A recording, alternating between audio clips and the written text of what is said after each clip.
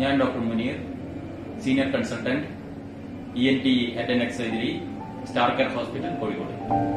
നമ്മുടെ നാട്ടിൽ സാധാരണയായി കണ്ടുവരുന്ന ഇ എൻ ടി അസുഖങ്ങളിൽ വളരെ പ്രധാനപ്പെട്ടതാണ് തൊണ്ടയിലും കഴുത്തിലും കാണുന്ന മുഴകൾ ഇതിൽ തന്നെ സാധാരണമായി കണ്ടുവരുന്ന ഒന്നാണ് തൈറോയ്ഡ് മുഴകൾ ശരീരത്തിന് ഉന്മേഷവും ഊർജവും നൽകുന്ന ടി ത്രീ ടി ഫോർ എന്നീ ഹോർമോണുകൾ ഉൽപ്പാദിപ്പിക്കപ്പെടുന്നത് നമ്മുടെ കഴുത്തിന്റെ താഴ്ഭാഗത്തായിട്ടുള്ള തൈറോയിഡ് ഗ്രന്ഥിയാണ് ഇതിന്റെ പ്രവർത്തനം തലച്ചോറിന്റെ അടിഭാഗത്തുള്ള പിറ്റ്യൂട്ടറി ഗ്രന്ഥി ഉൽപ്പാദിപ്പിക്കുന്ന ടി എസ് എച്ച് എന്ന ഒരു ഹോർമോൺ വഴിയാണ് നിയന്ത്രിക്കപ്പെടുന്നത്. ചില അസുഖങ്ങൾ കാരണം തൈറോയിഡ് ഗ്രന്ഥിക്കുണ്ടാകുന്ന ചില അസുഖങ്ങൾ കാരണം ഈ ടി ത്രീ ടി ഫോർ എന്നീ ഹോർമോണുകളുടെ ഉൽപാദനം കൂടുകയോ കുറയുകയോ ചെയ്യും. ഇത് കൂടുകയാണെങ്കിൽ നാം അതിനെ ഹൈപ്പർ തൈറോയിഡിസം എന്നാണ് പറയുന്നത്.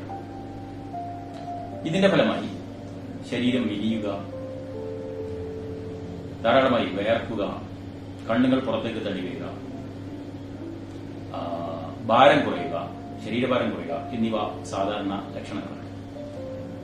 ഈ അസുഖത്തെ നമുക്ക് മരുന്നുകൾ ഉപയോഗിച്ചോ?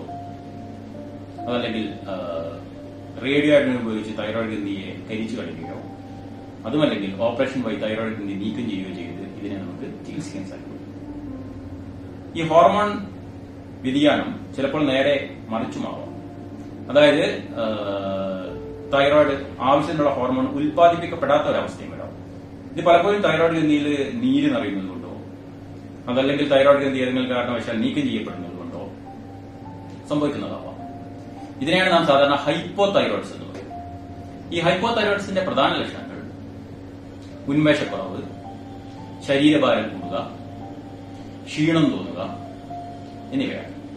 ഇതിൽ നാം സാധാരണ ചെയ്യുന്നത് കുറഞ്ഞിരിക്കുന്ന തൈറോയ്ഡ് ഹോർമോൺ പ്രധാനമായും ടി ഫോർ ഹോർമോൺ ഗുളിക രൂപത്തിൽ നൽകിയാണ് ഇതിനെ ചികിത്സിക്കുന്നത്. ഈ ലക്ഷണങ്ങൾ കൂടാതെ തൈറോയിഡ് ഉണ്ടാകുന്ന മുഴകൾ ശബ്ദ വ്യതിയാനം അതുപോലെ തന്നെ ഭക്ഷണം വിഴുങ്ങുമ്പോഴുള്ള പ്രയാസം ഇവയും തൈറോയിഡ് രോഗത്തിന്റെ ലക്ഷണങ്ങളായിട്ട് കാണാറുണ്ട്. തൈറോയ്ഡ് മുഴകളെ നാം കൂടുതൽ ശ്രദ്ധിക്കേണ്ടതാണ്. കാരണം ഇവ ചിലപ്പോൾ സാധാരണ ഗോയറ്റുകളാവാം കൊളോയിഡ് ഗോയിറ്ററുകളോ മൾട്ടിനോഡർ ഗോയിറ്ററുകളാവാം പക്ഷെ ചിലപ്പോൾ ഇവ ക്യാൻസർ കാരണമുള്ള മുഴകളുമാവാം അപ്പൊ ഇവ ഇവ തമ്മിൽ തിരിച്ചറിയുക എന്നുള്ളത് വളരെ പ്രധാനപ്പെട്ടതാണ്. തൈറോയിഡിലെ സാധാരണ ടെസ്റ്റുകളായ കഴുത്തിന്റെയും തൈറോയിഡിന്റെയും അൾട്രാസൗണ്ട് സ്കാൻ അതുപോലെ തന്നെ എഫ് എൻ എ സി പരിശോധന എന്നിവ വഴി നമുക്ക് സാധാരണ തൈറോയിഡ് മുഴകളെയും ക്യാൻസർ മുഴകളെയും തിരിച്ചറിയാൻ സാധിക്കും. ക്യാൻസർ മുഴകളാണെങ്കിൽ നാം അവരെ അവ സർജറിക്ക് വിധേയമാക്കി നീക്കം ചെയ്യേണ്ടതാണ്.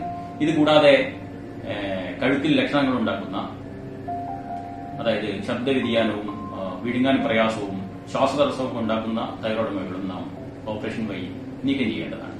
സാധാരണ തൈറോയ്ഡ് മുഴകളാണെങ്കിൽ ഓപ്പറേഷൻ ചെയ്യുന്നതോടുകൂടി അതിന്റെ ചികിത്സ അവസാനിക്കുന്നു. അതേസമയം ക്യാൻസർ മുഴകളാണെങ്കിൽ ഇത്തരം രോഗികളെ നാം ശസ്ത്രക്രിയയ്ക്ക് ശേഷം ഓപ്പറേഷന് ശേഷം റേഡിയോ ആഡിൻ സ്കാനിംഗ് നോക്കും. ഈ റേഡിയോ ആഡിൻ സ്കാൻ വഴി നമുക്ക് ക്യാൻസർ രോഗി ശരീരത്തിന്റെ മറ്റു ഭാഗങ്ങളിലേക്ക് പകർന്നിട്ടുണ്ടോ എന്നുള്ളത് മനസ്സിലാക്കാൻ സാധിക്കും. ഇങ്ങനെ പകർന്നിട്ടുണ്ടെങ്കിൽ നാം അവയെ റേഡിയോ ആഡിൻ ചികിത്സ വഴി തന്നെ അസുഖത്തെ നാം ചികിത്സിക്കേണ്ടതാണ്.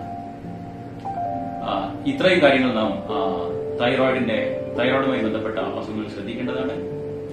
തുടക്കത്തിൽ തന്നെ കണ്ടുപിടിച്ച് കൃത്യമായ രോഗനിർണയവും ചികിത്സയും സർജറിയും എല്ലാം ചെയ്യുകയാണെങ്കിൽ ക്യാൻസർ അടക്കമുള്ള ഒട്ടുമിക്ക തൈറോയ്ഡ് രോഗങ്ങളെയും നമുക്ക് പൂർണമായും ചികിത്സിച്ച് ഭേദപ്പെടുത്താൻ സാധിക്കുന്നതുമാണ്.